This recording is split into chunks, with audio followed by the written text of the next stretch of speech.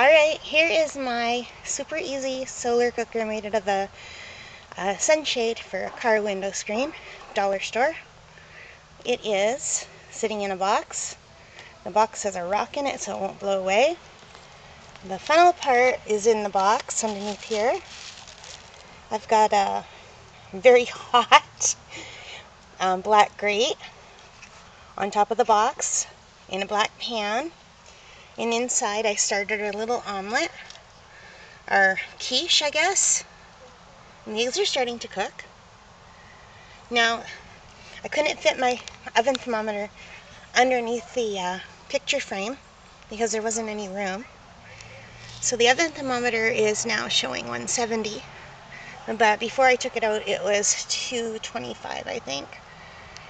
Before I took it out of the pot and put the uh, eggs in.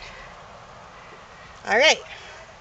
So this is pretty cool. And uh, it is cooking slowly. And the sun is coming out now. Earlier it was very overcast when I started this.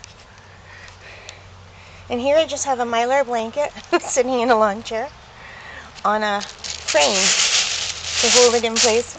And I can't really get in there to show you better, but the water is starting to simmer. It's got bubbles in there, like even inside in the bottom, not just on the lid. And it's hot to the touch. So, that's pretty cool. And my dog Mac has been sitting outside the egg box,